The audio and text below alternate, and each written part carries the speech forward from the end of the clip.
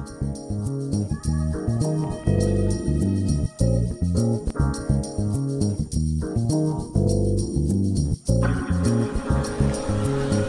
Insight, sekarang saya lagi jalan-jalan nih di Washington Square Park. Ini kece banget sih tempatnya. Jadi kalau Anda ke New York, di New York sendiri ada kurang lebih eh, 1900 public parks. Jadi taman-taman umum gitu yang menyenangkan sekali untuk jalan-jalan ya kan.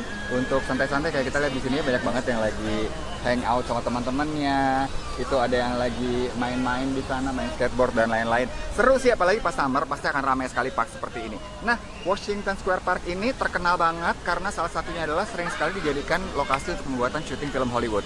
Coba kita lihat ke sini ya.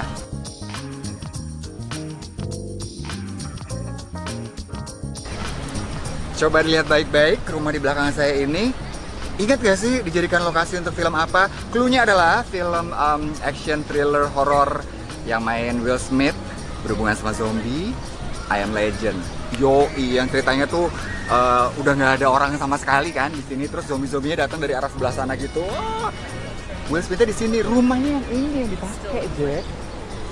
Masih di dalam nggak tuh dia? Mas Will. Tapi satu lagi nih yang menarik. Coba kita lihat di sini yuk. Ini kayaknya spot yang harus banget dijadiin background foto.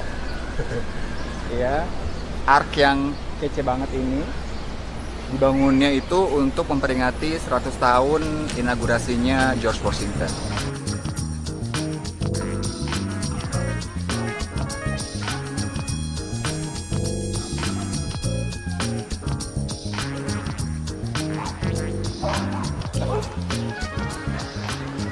Tadi kita udah lihat tempat gaul para manusia, sekarang temennya manusia, ya, man's best friend. Ini lihat deh, dog run. Jadi eh, park khusus buat anjing-anjing lucu ini, lihat deh. Ada beberapa peraturan yang penting banget yang harus diikuti. Salah satunya adalah satu orang cuma boleh bawa maksimal tiga anjing aja, ya. Kalau lebih kasihan, repot bawanya mungkin. Terus, ini keren nih. No people without dogs, no dogs without people. Jadi kalau ada yang anjingnya doang mau nongkrong di sini sendirian gitu, dia lagi males banget sama yang punya terus bilang ah rese ah yang punya udah gue mau nongkrong sendiri, nggak boleh. Harus sama yang punya. Dan juga kalau ada orang kayak saya gini kan saya nggak ada anjingnya gitu, terus mau masuk nggak boleh juga. Dan ada beberapa peraturan yang strict sih kayak misalnya anjingnya tuh nggak boleh yang lagi diobatin pakai dog collar gitu nggak boleh. Terus kalau sampai anjingnya berantem, maka anjing itu akan diusir. Usir dia dari kampung sini. Gitu rame-rame ya. Kata anjing-anjing lainnya. Terus kalau diperhatiin ini anjing di sini kelihatannya tipe-tipenya kan macam-macam sebenarnya kan jenisnya. Tapi ukurannya tuh kurang lebih sama. Karena yang ada di park yang ini itu cuma buat anjing-anjing yang berukuran sedang dan besar. Sementara buat anjing-anjing imut-imut tempatnya beda lagi. Harus dibedain biar nggak minder ya kan kalau di sini nanti mereka ah lihat lihat dia kecil banget. Ih ih ih kok gitu sih? Gitu. Takutnya dibully gitu sama teman-temannya kan nggak enak dong. Nanti anjingnya stres ya.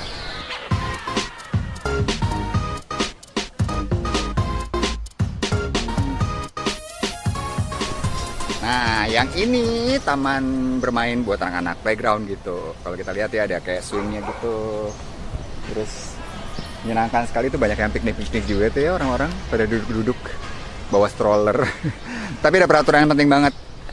No adults except in the company of a child. Jadi kayak saya gitu masuk ke dalam nggak bisa. Harus punya anak dulu. What? Aku sedih loh.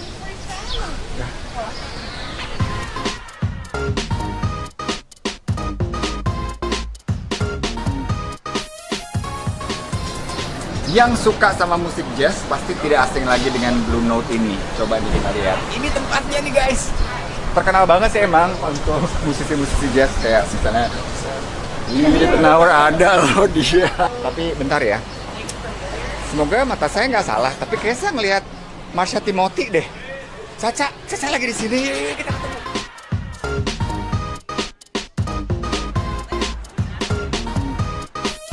Tuh kan bener kan? Ada Marsha Timothy. Caca.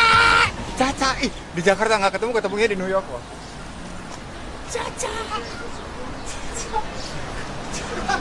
Caca.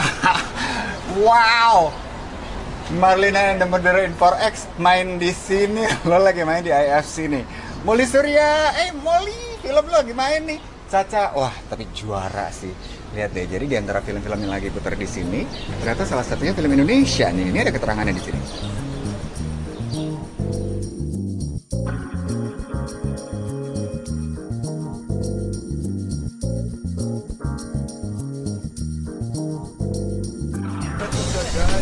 Nah, kalau musim panas di New York setiap weekend suka ada nih kayak gini farm market gini seru banget sih. Jadi kita bisa nemuin banyak banget eh, dari mulai sayur-sayuran, ada wheatgrass tuh, aduh, wheatgrass ini sehat banget by the way. Kemudian ada nih ya produk-produk seperti eh, selai dan berbagai macam jelly-jelly, bunga-bunga, buah-buahan, sayur mayur, daging, keju, eh, sampai yang organik-organik. Pokoknya semuanya fresh. Bahkan telur aja tuh katanya fresh. Jadi kayaknya dia tungguin banget sampai ayamnya keluar gitu telurnya terus langsung dijual di sini. Saking freshnya terus suka ketemu eh, sayur-sayur yang aneh-aneh kayak coba lihat di sini.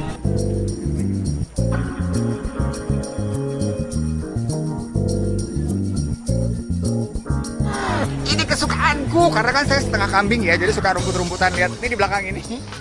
Eh, rumput gandum ini jusnya itu salah satu yang paling sehat minuman paling sehat di dunia deh. Soalnya tuh cairannya sama sama plasma darah manusia gitu. Terus kayak bisa bikin awet muda ya kan? Kelihatan dong Eh, bikin sehat yang pasti. Terus eh, anti kanker. Banyak banget manfaatnya si wheatgrass ini. Dan kalau di Jakarta sih biasanya kita nanam sendiri ya. Ada juga yang juga kayak gini sih. Nih kita lihat Excellent. Thank you so much. another shot please. Say again? another single shot? I'm single, absolutely. I can make your change then. Thank you. 350 out of five. We're almost out of. All right, I'll bring some more. A dollar fifty will be your change. Eh, gandum sebenarnya gandum wheat heeh. terus dipotong terus sama dia digiling gitu nanti keluar how long will it take to grow That's about seven days old. seven this is seven days Seven days old. Seven days from dry seed, and it takes this much grass to make to make a single this shot much juice. Correct. oke jadi untuk bikin satu nih sekecil ini shotnya butuhnya segini banyak ya oke thank you so much You're very Would you like some water? ya nah kita mau coba ini rasanya seperti apa go ahead sorry no problem. Oke. Thank you so much. Oke, sekarang kita akan coba ya. Eh, rasanya tuh manis-manis. Manis-manis gimana gitu. Beberapa orang sih bakal ngerasa pusing kalau nggak biasa karena ini kan protein dan eh, nutrisinya banyak banget gitu ya. Jadi kita coba langsung. Bismillahirrahmanirrahim.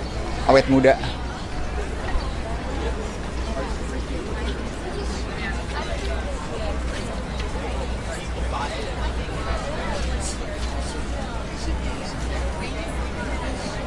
enak banget. Uh, rasanya kayak makan rumput aja sih. Kayak makan rumput aja hari-hari gitu. Ah, kalau nggak biasa pasti bakal pusing dan eh, dari pengalaman saya pertama kali minum sempat agak uh sempat keluar lagi ya karena emang rasanya kuat banget. Tapi kalau inget manfaatnya hajar. Hmm, by the way ini bisa dibikin buat masker juga supaya kulit kencang.